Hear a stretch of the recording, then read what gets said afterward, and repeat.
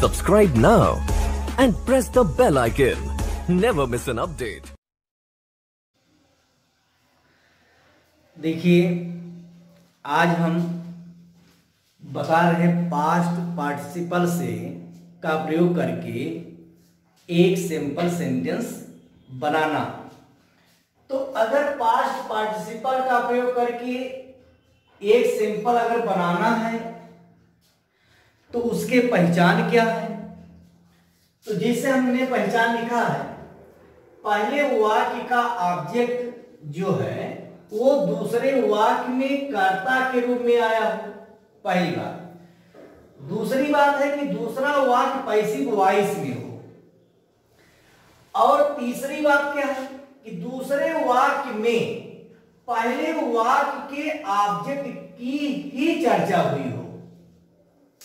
यानी कहने का मतलब जैसे मान लीजिए, दो सेंटेंस हमें दिया गया है। दोनों सेंटेंस को जोड़कर हमें एक सिंपल सेंटेंस बनाना है। वो भी पास्ट पार्टिसिपल से, के प्रयोग से हमें एक सिंपल सेंटेंस बनाना है।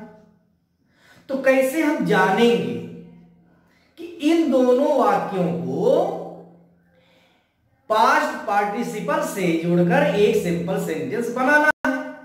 तो उसके पहचान, उस मतलब हम पहले पहचानेंगे। क्या जो पहले वाक्य का ऑब्जेक्ट है, क्या वो दूसरे वाक्य में सब्जेक्ट के रूप में यानी सब्जेक्ट के रूप में आया है? और दूसरी बात यह है, क्या जो दूसरा वाक्य है, वो पैसिव वॉइस में है? अब तीसरा देखेंगे। क्या जो दूसरा वाक्य है, उसमें जो है, जो चर्चा हुई है, क्या पहले वाक्य के ऑब्जेक्ट की ही चर्चा हुई है? अगर ये तीनों शर्त अगर पूरा है तो उसको हम क्या करते हैं? पास्ट पार्टिसिपल से जोड़कर हम एक सिंपल सेंटेंस बनाते हैं। आइए हम आपको एग्ज़ाम्पल से समझाते हैं। जैसे नंबर एक है, नंबर एक I found I found a I found a pen अब दूसरा है इट वाज लॉस्ट ये दो वाक्य दिए गए हैं। इसी को हमें बनाना है क्या? एक सिंपल सेंटेंस अब इन्हीं दोनों वाक्यों को जोड़कर हमें एक सिंपल सेंटेंस बनाना है। तो अब ये देखना है क्या इन दोनों वाक्यों को हम यानी पास्ट पार्टिसिपल का प्रयोग करके एक सिंपल सेंटेंस बना सकते हैं। अब ये देखना है। तो अब देखिए, क्या यानी कि इसमें लिखा है, पहले वाक्य का ऑब्जेक्ट जो है, वो दूसरे वाक्य में कर्ता के रूप में आया है। यानी देखा, पहले वाक्य में आई फाउंड ए पेन तो पहले वाक्य का ऑब्जेक्ट क्या है? पहले पहले वाक्य का ऑब्जेक्ट ए पेन है। अब देखिए क्या ये जो है दूसरे वाक्य में कर्ता के रूप में आया है। इट इट माने यह। यानी कह रहा है आई फाउंड ए पेन मैं मैंने एक पेन पाया। इट माने यह वा, वाज माने वाज लास्ट खो गई थी। मतलब मैंने एक पेन पाया यह खो गया था। क्या यह खो गया था? यह का मतलब यही पेन। यही पेन जो है, ईट जो है, ये यही पेन का इशारा कर रहा है। यानी यही पेन जो है, यही दूसरे वाक्य में सब, यानी ईट बन करके सब्जेक्ट के रूप में आया है। तो यानी अब ये पता चल गया कि पहले वाक्य में जो ऑब्जेक्ट है, वो दूसरे वाक्य में सब्जेक्ट के रूप में आया है। पहली बात। अब दूसरी बात क्या है? अब देखिए क्या दूसरा वाक्य जो है पैसिव वॉइस में है। अब देखेंगे दूसरा वाक्य जो है पैसिव वॉइस में है। तो जैसे हमने कहा है is are am was were. इसके आगे अगर क्रिएट थर्ड फॉर्म लिखा है तो हम समझ लेंगे कि पैसिव वॉइस में है। Last L O S T last जो है, ये क्रिया के थर्ड फॉर्म है। तो यानी कि अब देखिए यहाँ वाज के आगे क्रिएट थर्ड फॉर्म लिखा हुआ तो इसका मतलब ये दूसरा वाक जो है पैसिव वॉइस में है। अब तीसरी बात क्या है? तीसरी बात है कि जो दूसरे वाक्य में दूसरे वाक्य में पहले वाक्य के ऑब्जेक्ट की ही चर्चा हुई है। अब देखा ये पहले वाक्य का ऑब्जेक्ट है। सम, समझिए पहले ये पहले वाक्य का ऑब्जेक्ट ये पेन है इस क्या इसी एक पेन के विषय में दूसरे वाक्य में चर्चा हुई है? ईट मानी यह यानी कि एक पेन? इसी चर्चा हुई है। मतलब वाज लास्ट खो गया था? क्या खो गया था? ये पेन। उसी पेन की ही चर्चा हुई है। यानी कहने का मतलब ईट मानी यह यानी का अर्थात ये पेन। और वाज लास्ट माने खो गया था? क्या खो गया था? वही ये पेन। तो इसका मतलब दूसरे वाक्य में, यानी पहले वाक्य के ऑब्जेक्ट की ही चर्चा हुई है। इसलिए हम इसको पास्ट पार्टिसिपल का प्रयोग करके एक सेंटेंस बनाएँगे। कैसे? यानी कि सिंपल सेंटेंस तो एक सिंपल सेंटेंस बनाते गए हैं कैसे है? देखिए। यानी कहने का मतलब जब ऐसे वाक्य रहे, यानी कि अगर पूछा जाए दूसरे वाक्य में है वाज लास्ट खो गया था। तो क्या खो गया था? एक पेन। तो यानी जिसकी चर्चा कर रही है मतलब कर रहा है इसमें, यानी लास्ट लास्ट माने खो गया था। तो क्या खो गया था? एक पेन। तो जो खो गया है, उसी के बगल में जाकर के ये बैठ जाएगा। मतलब कि यहाँ लास्ट मीन्स खोना है तो जो खो गया है, वो उसी के बगल में बैठेगा। तो ये हो जाए I I found a L O S T lost pen यानी कि ये लास्ट लास्ट मीन्स होता है खोना। अब क्या चीज़ खो गया था? पेन खो गई थी। तो इस लास्ट को इसी पेन के हम बगल में लिख देंगे। तो यही हमारा पास्ट पार्टिसिपल का प्रयोग करके हमारा सेंटेंस यानी सिंपल सेंटेंस बन गया। तो आई फाउंड ये लास्ट पेन इसका मतलब आई माने मैंने फाउंड माने पाया, ये लास्ट पेन एक खोया हुआ कलम। मैंने एक खोया हुआ कलम पाया। चाहे कह दीजिए आई फाउंड ए पेन मैंने एक कलम पाया। और इट वाज लास्ट वह खो गया था। और चाहे कह दीजिए कि मैं ये खोया हुआ पेन यानी कलम पाया।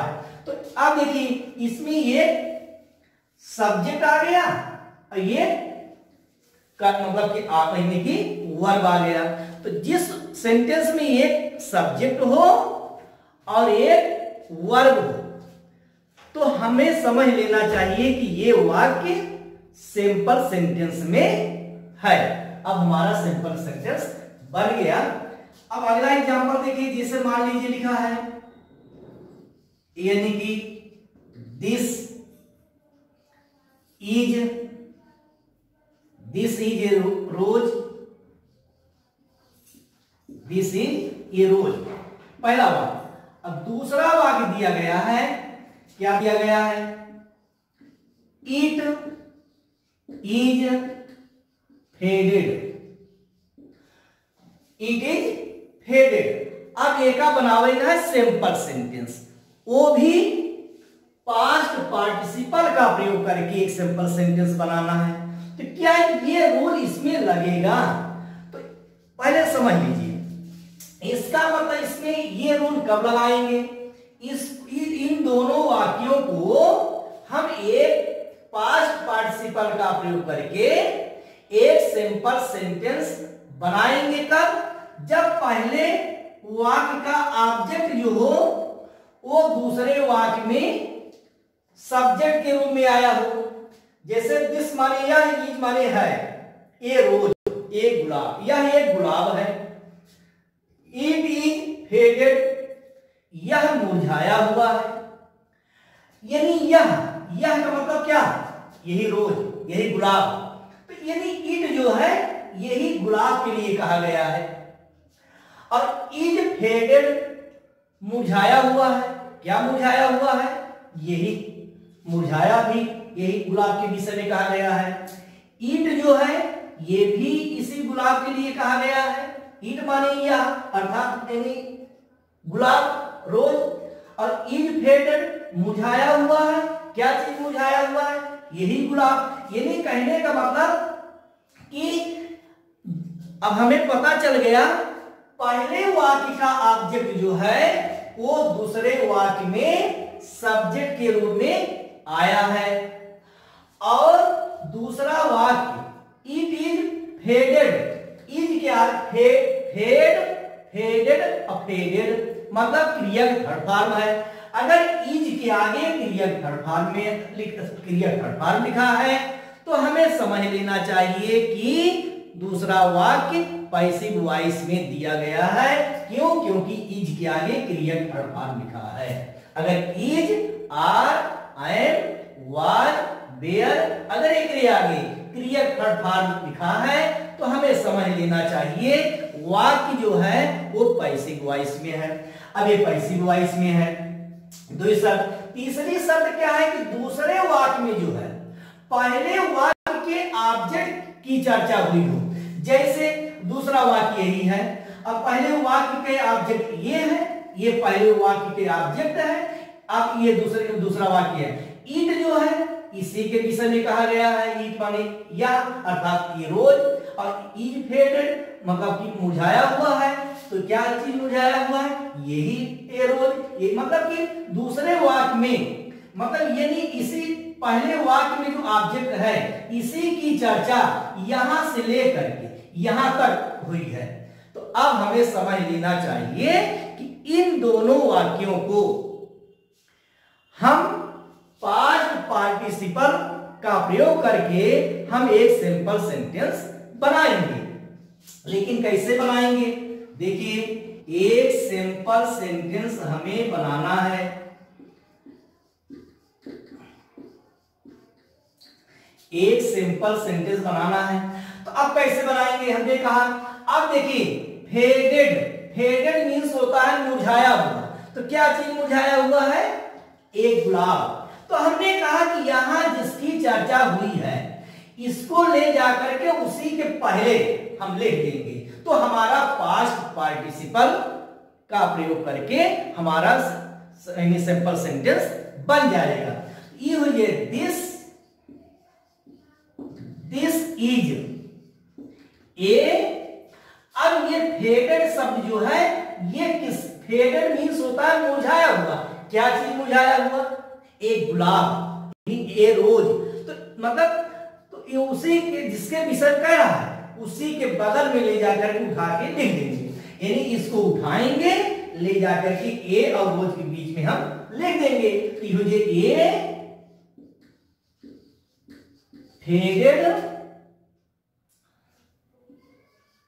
rose.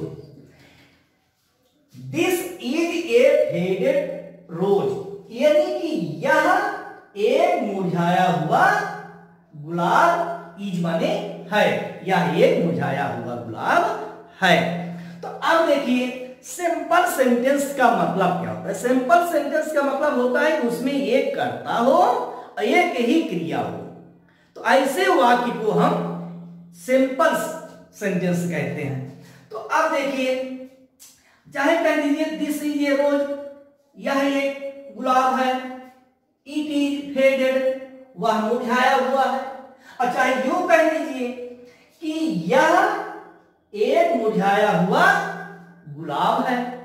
इसको ऐसे भी कह सकते हो। देखिए, एक एग्जांपल हम और देख लीजिए। यानी कहने का मतलब यह है कि अगर पास्ट पार्टिसिपल का प्रयोग करके अगर एक सिंपल सेंटेंस बनाना है अगर जो दो वाक्य, दो सेंटेंस दिया गया है, अगर ये तीनों शर्त उसमें दिखाई दे, तभी उसको पास्ट पार्टिसिपल का प्रयोग करके एक सिंपल बनाइएगा। अगर ये तीनों शर्तें अगर नहीं दिखाई देती है तो वो पास्ट पार्टिसिपल का प्रयोग करके हम एक सिंपल सेंटेंस नहीं बना सकते हैं। तो अब देखिए एग्ज़ाम्पल अगला हम बता रहे हैं देख लीजिए। जैसे मान लीजिए है, आई माने मैंने, सा माने देखा, ए बॉय, एक लड़का। मैंने एक लड़का देखा, दूसरे वाक्य में क्या है? ही माने वह, was, he was bounded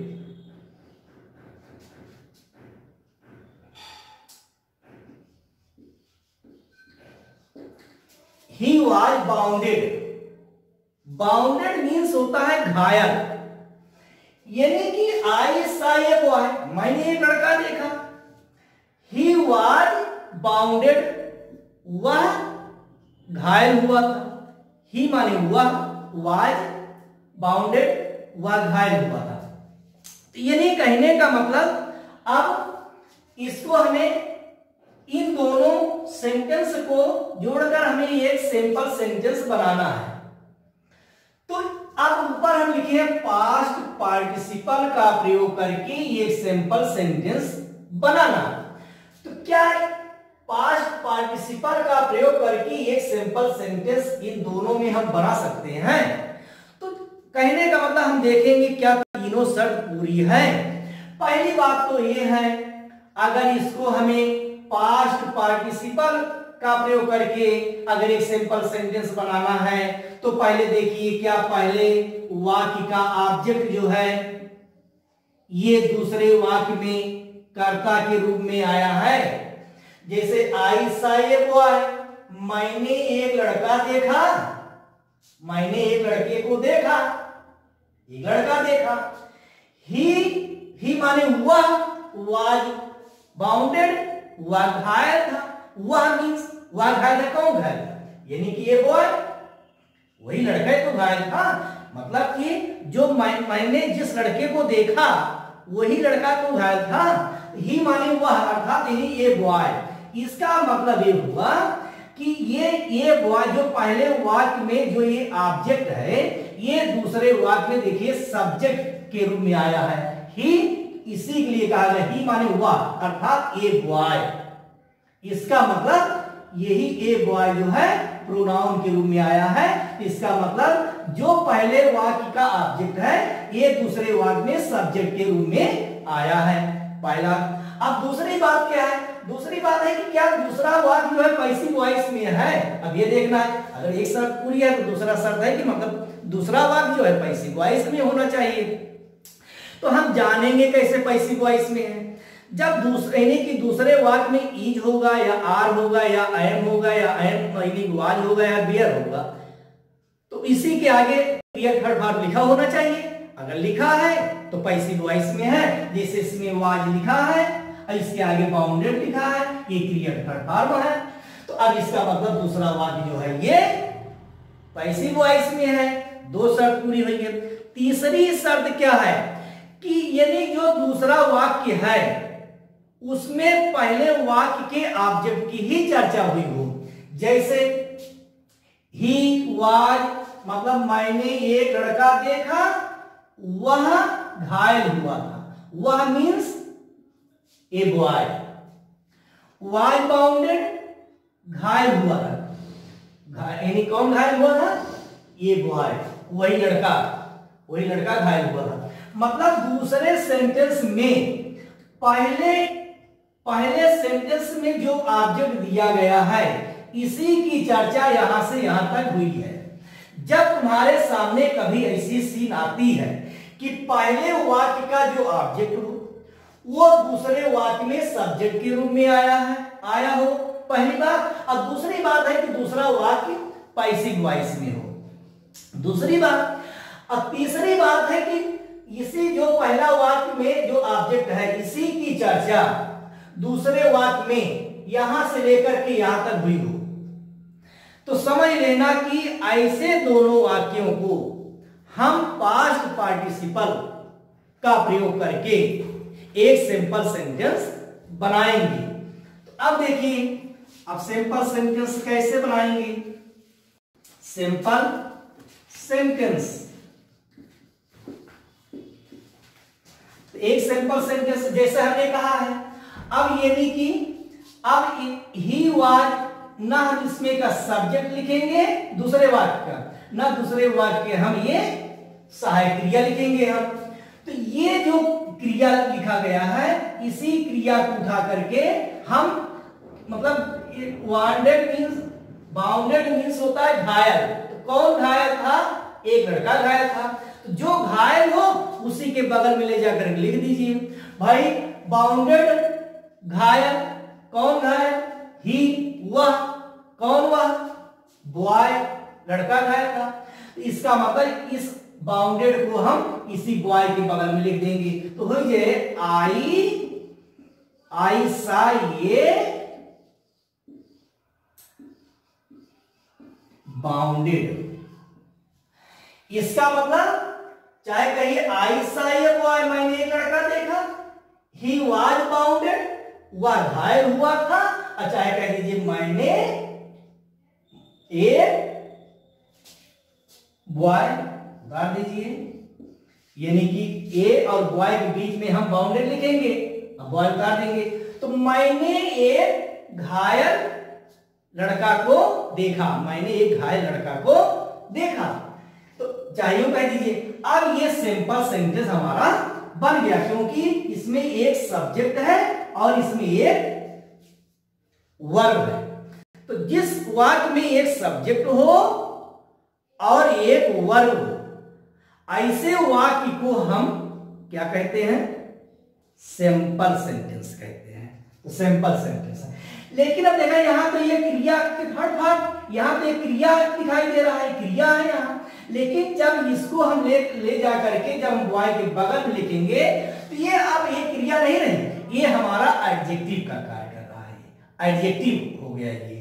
अब ये जब हम बाउंडेड को उठा करके बॉय के बगल में लिख दिए तो ये तो वैसे ये क्रिया थर्ड फॉर्म है। लेकिन यहाँ ये एडजेक्टिव बन गया। तो ये हो गया आई सा ये बाउंडेड बॉय मैंने ये घायल लड़का को देखा। जैसे एक एक वाक्य हम और देते हैं। देखिए, जैसे मान लीजिए, लिखा है, इसमें लिखा है कि चलिए ही ही माने उसने या वह सा माने देखा ए हाउस उसने एक घर देखा। वह एक घर देखा। दूसरा वाक्य है it was B U R N T, burn. वह वाज बर्न, जला हुआ था। यानी कि उसने ये घर देखा, ही माने उसने सा माने देखा ये हाउस, ये घर। उसने एक घर को देखा एक घर देखा इट वाज बर्न। वह जला हुआ था। वह जला हुआ था। अर्थात ये नहीं कहने का मतलब अब क्या इस दोनों, इन दोनों वाक्यों को जोड़कर हम एक, यानी पास्ट पार्टिसिपल का प्रयोग करके एक सिंपल सेंटेंस बना सकते हैं। अब ये देखना। भाई, अगर हमें पास्ट पार्टिसिपल का प्रयोग करके अगर एक सिंपल सेंटेंस बनाना है तो भाई उसके तीन शर्तें हैं। अगर वो तीन शर्तें अगर पूरी है तो तो हम इस नियम का यूज़ करेंगे। अगर नहीं पूरा है तो फिर देखेंगे फिर और कौन सा नियम लगेगा। फिर उससे हम जोड़ करके एक सिंपल बनाएँगे। तो पहले तो हम बता रहे हैं पास्ट पार्टिसिपल का प्रयोग करके एक सिंपल सेंटेंस बनाना। तो अब देखिए ही ही सा ए हाउस उसने ये घर देखा। इट वाज बर्न वह जला हुआ यानी कि जो उसने ये घर को देखा वो क्या क्या था वो? जला हुआ था। मतलब ये जो ये हाउस है, यही अगले वाक्य में इसी का प्रतीक ईट के रूप में लिखा है। ईट मानी हुआ है, अर्थात यही हमारा ये हाउस हाउस मीन्स ईट मतलब वही हाउस वाज बर्न जला हुआ था। यानी कि अब यहाँ लिखा है B U R N T burn third form है, जला हुआ था। क्या जला हुआ था? वो घर। जो उसने घर को देखा था, वो जला हुआ था। वो घर क्या था? जला हुआ था। अब देखिए, अब दूसरा वाक्य हमारा पैसिव वॉइस में है। दूसरा वाक्य क्या है? पैसिव वॉइस में है, क्योंकि वाक्य आगे क्रिया थर्ड लिखा है। और पहले वाक्य में जो ऑब्जेक्ट है, वो दूसरे वाक्य में सब्जेक्ट के रूप में आया है। तीसरी बात है कि पहले वाक्य में जो ऑब्जेक्ट है, इसी की चर्चा यहाँ से लेकर के यहाँ तक हुई हो जैसे ये हाउस है, यहाँ इट इट मीन्स यही हाउस के लिए कहा गया है मतलब वही घर वाज बर्न जला हुआ था। अब एक पूछा जाए, भाई, क्या जला हुआ था? तो यही तो कहोगे कि ये हाउस एक घर जला हुआ था। तो एक घर जला हुआ था। तो अब इस मतलब इसमें का हम सब ये नहीं लिखेंगे, इसको हम सहायक क्रिया नहीं लिखते हैं। अब यही हम केवल लिखेंगे, वो भी इसको कहा ले जाकर के लिखेंगे? बर्न मीन्स जला हुआ। अब जो जो चीज़ जला हुआ था, उसी के बगल में लिख दीजिए। तो क्या चीज़ जला हुआ था? घर। तो उसी घर के बगल में लिख दीजिए तो हमारा बन जाएगा एक सिंपल सेंटेंस तो यानी कि सिंपल सेंटेंस अब सिंपल सेंटेंस एक सिंपल सेंटेंस हमें बनाना है। ही सा अब ये और हाउस के बीच में हम क्या लिखेंगे? B U R N T burn यानी कि ए बर्न हाउस एक जला हुआ घर. उसने एक जला हुआ घर देखा। अब ये बर्ड जो है, ये अब एक एडजेक्टिव का कार्य कर रहा है। अब देखिए इसमें एक कर्ता हो और एक इसमें क्रिया हो गया जब एक करता एक क्रिया के कोनो सेंटेंस बन जाए तो उसी को हम कहते हैं सिंपल सेंटेंस अब हमारा एक सिंपल सेंटेंस बन गया। जैसे हम एक वाक्य और इसी नियम पे हम बता रहे हैं। देख लीजिए लास्ट जैसे मान लीजिए, पहला वाक्य है ही हैड ए चेयर। उसके पास एक कुर्सी थी। और दूसरे वाक्य में है, ईट वाज ब्रोके ब्रोकेन। वह टूटी हुई थी। यानी उसके पास एक कुर्सी थी ही हैड ए चेयर उसके पास एक कुर्सी थी ही हैड ए डॉग उसके पास एक कुत्ता था। तो यानी ही हैड ए चेयर उसके पास एक कुर्सी थी और कुर्सी कैसी थी? इट वाज ब्रोकेन वह टूटी हुई थी। अब देखिए, अब ऐसे ही इम्तहान में पेपर में ऐसे दो सेंटेंस दिए रहेंगे और इसी के आगे लिख दिया जाएगा सिंपल सेंटेंस सिंपल सेंटेंस एक है मतलब इन दोनों वाक्यों को जोड़कर हमें एक सिंपल सेंटेंस बनाने के लिए कह दिया जाएगा। तो हम बनाएँगे कैसे? जैसे मान लीजिए कह दिया गया तो अगर इसमें पास्ट पार्टिसिपल का प्रयोग अगर होता होगा तो उसमें फिर ये तीन शब्द दिखाई देता होगा। जैसे ही हैड ए चेयर उसके पास एक कुर्सी थी। इट वाज ब्रोकन वह टूटी हुई थी। यानी कहने का मतलब ये चेयर पहले वाक्य में ऑब्जेक्ट पहले वाक्य का ऑब्जेक्ट क्या है? ये चेयर है। मतलब अब ये चेयर एक नाउन के रूप में है, लेकिन ऑब्जेक्ट केवल जानिए बस। और और कुछ नहीं। ये जानिए कि पहले वाक्य का ऑब्जेक्ट जो है, वो दूसरे वाक्य में सब्जेक्ट के रूप में होना चाहिए।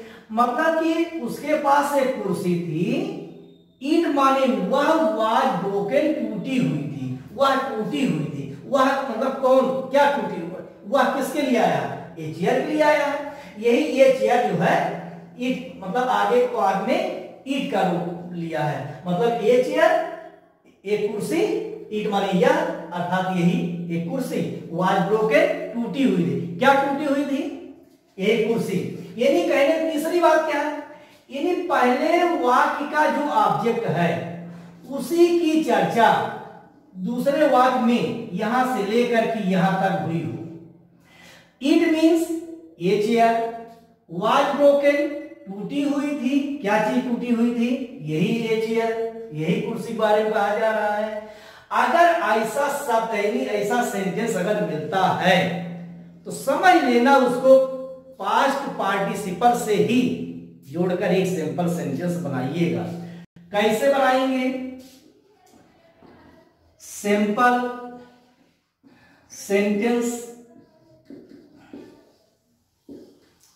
ये सिंपल सेंटेंस कैसे बनाएँगे? अब इन्हें हमने कहा है, जो पैसिव वॉइस में है, उसका तो ना तो हम सब्जेक्ट लिखेंगे, ना तो हम हेल्पिंग वर्ब लिखेंगे। ये तो नहीं लिखते हैं। अब तीसरा जो बचा हुआ है, ये जो बचा हुआ है, इसको हम ले जाकर के हम किसके बगल में लिखेंगे? भाई, ये कह रहा है टूटी हुई। क्या चीज़ टूटी हुई? अब उसी के बगल में जो चीज़ टूटा हुआ हो, उसी के बगल में लिख दीजिए। भाई, अब यही कुर्सी के बारे में कह रहा है कि जो कुर्सी थी, वो टूटी हुई थी। तो अब ये ब्रोकन जो है, इसी चेयर के बगल में लिख देंगे। जो चीज़ टूटा हुआ है, जिसके विषय में ये बता रहा है, जैसे भाई मान लीजिए, अगर कोई आदमी है, किसी आदमी की बड़ाई करता है तो लोग क्या कहेंगे? ऐसा है तो ये सड़ गया जाओ नहीं लगे। यही तो कहेंगे। बोलिए तो वही ये ब्रोकन ब्रोकन मीन्स क्या होता है? टूटी हुई।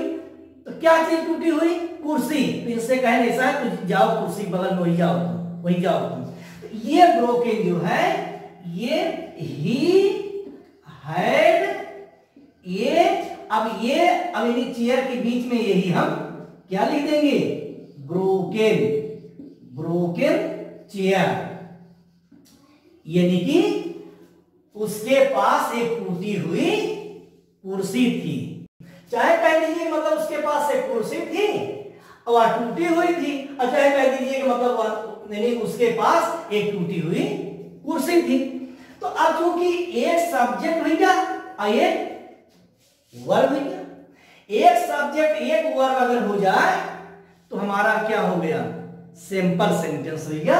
और लास्ट केवल एग्ज़ाम्पल हम बता रहे हैं, जो इससे हट के है। जैसे आई माने मायने सा माने देखा ए डेड हुआ है मायने एक मृतक मरे हुए लड़के को देखा। मैंने एक मरे हुए लड़के को देखा, यानी मैंने जिस लड़के को देखा, वो मरा हुआ था। इसका मतलब यह है। दूसरे वाक्य में क्या है? यानी कि he was covered he was covered ढका हुआ था। किससे? विद ए व्हाइट क्लोथ सफ़ेद कपड़े से। वह सफ़ेद कपड़े से ढका हुआ था। लास्ट है। समझ लीजिए। बहुत कठिन नहीं है। अब जैसे इसमें वाज तो वाज के आगे एक शब्द था। एक शब्द था। इसको ले जाकर के हम उसी के बगल में लिखते थे। लेकिन अगर वाज के आगे एक शब्दों का एक समूह एक शब्दों का एक समूह हो यानी फ्रेज के रूप में हो। तो हम उसको क्या करते हैं? जो हम उसको पहले लिखते थे, हम उसको अब आगे लिखेंगे। कैसे? एक वाक्य में जान लीजिए, जब यानी कि जो पैसिव वॉइस में दिया गया हो, उसमें is are am was there के आगे अगर एक शब्द के, एक शब्द अगर दिया गया है, कोई एक वर्ड दिया गया है, उसको हम कैसे लिखते थे? उसको ले जाकर के हम कहा लिखते थे? अब यानी इसमें जब यानी शब्दों का एक पूरा एक समूह है, पहले तो इसको हम जानेंगे जिससे आई माने माइने सा माने देखा एक डेड हुआ है। एक मरे हुए लड़के लड़के को, लड़का को देखा। ही माने हुआ ही मीन्स वही ये डेड हुआ है। ही आया है वह was covered with a white cloth वह सब, यानी वह एक सफ़ेद कपड़े से वह एक सफ़ेद कपड़े से। ढका हुआ था। यानी क्या? वो लड़का, जो लड़का मरा हुआ, उसने देखा, वो एक सफ़ेद कपड़े से ढका हुआ था। तो कहने का मतलब कि क्या इन दोनों वाक्यों को पास्ट पार्टिसिपल का प्रयोग करके एक सिंपल सेंटेंस हम बना सकते हैं? तो इसमें वही तीन शब्द की बात है कि पहले वाक्य में जो, पहले वाक्य का ऑब्जेक्ट जो है वो दूसरे वाक में सब्जेक्ट के रूप में आया है। यही एक डेड बॉय जो है। यही दूसरे वाक में सब्जेक्ट के रूप में ही ही के रूप में आया है। ही सब्जेक्ट है। और देखिए, ये जो लिखा कहा गया है कि was covered with a white cloth यानी ये मतलब कि एक सफ़ेद कपड़े से ढका हुआ। तो एक सफ़ेद कपड़े से ढका हुआ। क्या ढका हुआ? वही जो एक मृतक लड़का था। मतलब कि ये भी जो है, इसी के बारे में ही कहा जा रहा है। यानी कहने का मतलब जब कभी ऐसी सीन आवे कि जो पहले वाक्य का ऑब्जेक्ट है, उसी के विषय में, दूसरे वाक्य में, यहाँ से लेकर के पूरे आखिरी तक, इसी की चर्चा हुई हो केवल। इसकी चर्चा नहीं, इसकी नहीं। केवल पहले वाक्य में जो ऑब्जेक्ट है, इसकी चर्चा जो है दूसरे वाक्य में यहाँ से लेकर के यहाँ तक केवल उसी की चर्चा हुई है। तो समझ लेना, ऐसे दोनों वाक्यों को हम क्या करते हैं? उसको पास्ट पार्टिसिपल का प्रयोग करके एक सिंपल सेंटेंस बनाते हैं। कैसे बनाएँगे? देखिए सिंपल सेंटेंस एक सिंपल सेंटेंस तो अब चूँकि अब दूसरे वाक्य में जो वाज के आगे जो लिखा है, एक शब्दों का तो है नहीं। ये ये एक से अधिक शब्दों का समूह है, यानी पूरे एक फ्रेज के रूप में आया है। तो ऐसे वाक्य को हम जब सिंपल सेंटेंस बनाते हैं तो पहले वाक्य को हम ज्यो का त्यों ऐसे हम उतार लेंगे। I saw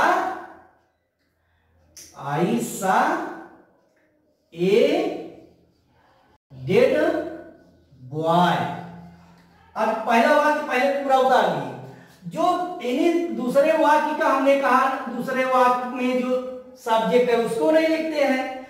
दूसरे वाक्य में जो ये सहायक क्रिया वर्ब है, इसको नहीं लिखते हैं। और उसके आगे जो रहता है, उसको हम लाते, पहले लाते थे उसके पहले लिखते थे, जब एक शब्द में था। लेकिन जब वो कई शब्दों का है पूरे कई शब्दों का समूह है, या एक फ्रेज के रूप में है तो उसको हम पहले वाक्य को जो करते हो पूरा उतारने के बाद, अब यानी कि हम पूरा उसको हम इसी के आगे उतार देंगे। यानी कि covered with a white cloth यानी कहने का मतलब अब हमारा बन गया simple sentence I saw a dead boy covered with a white एक का मतलब है मैंने एक सफ़ेद कपड़े से विद माने से। तो एक सफ़ेद क्लोथ माने कपड़े। एक सफ़ेद कपड़े से कवर्ड माने ढका हुआ। एक डेड बॉय एक मृतक लड़का सामान्य देखा। एक है मतलब मैंने एक सफ़ेद कपड़े से ढका हुआ, एक मृतक लड़का को देखा। चाहे ये तरह कह दीजिए आई साए डेड बॉय मैंने मृतक लड़के को देखा। He was covered with a white cloth और उन्होंने वह एक सफ़ेद कपड़े से ढका हुआ था। अच्छा कह दीजिए कि मैंने मतलब एक सफ़ेद कपड़े से ढका हुआ, एक मृतक लड़के को देखा। ये है। तो आज हम बता रहे थे पास्ट पार्टिसिपल का प्रयोग करके हम एक सिंपल सेंटेंस कैसे बनाते हैं। मान लीजिए, किसी ने पूछ लिया, कहो, हम कैसे जाने कि जैसे दो वाक्य दिया गया है इन दोनों वाक्यों को हमको पास्ट पार्टिसिपल का प्रयोग करके एक सिंपल सेंटेंस बनाना है। या हम पहचान नहीं पाए, यही हम नहीं जान पाते हैं कि इसको हम पार्टिसिपल से हम पार्टिसिपल में एक प्रेजेंट पार्टिसिपल है, एक परफेक्ट पार्टिसिपल है, एक पास्ट पार्टिसिपल है। तो किस पार्टिसिपल का प्रयोग करके हम एक सिंपल सेंटेंस बनाए? तो अगर पास्ट पार्टिसिपल का प्रयोग करके एक सिंपल सेंटेंस बनाना है तो जो दो वाक्य दिए रहेंगे, उसमें आपको यह देखना है कि क्या पहले वाक्य का जो ऑब्जेक्ट है, क्या वो दूसरे वाक्य में सब्जेक्ट के रूप में आया है? अगर आया है तो एक शर्त हमारी पूरी हुई है। अब दूसरा ये देखिए, जो हमारा दूसरा वाक्य है, क्या वो पैसिव वॉइस में है? अगर कुछ बच्चे कहते होंगे कि मतलब हम पैसिव वॉइस नहीं पहचान पाते हैं कि वाक एक्टिव वॉइस में है पैसिव वॉइस में है तो हमने कहा इज़ आर एम वाज बेयर इसकी आगे अगर क्रिया के थर्ड फॉर्म लिखा हो तो हमें समझ लेना चाहिए कि वाक पैसिव वॉइस में है। तो अगर पैसिव वॉइस में है तो दो शर्त पूरी हुई है। एक शर्त उसमें और आपको दिखाई दे। दूसरे वाक्य में शुरू से लेकर के आखिरी तक जितना लिखा हो, उसमें पूरे दूसरे वाक्य में केवल पहले वाक्य के ऑब्जेक्ट की ही चर्चा हुई हो। ऐसे दोनों वाक्यों को हमेशा समझ लीजिएगा। पास्ट पार्टिसिपल का प्रयोग करके एक सिंपल सेंटेंस बनाइएगा। अब अगले वीडियो में हम फिर मिलेंगे। जय हिंद, जय भारत।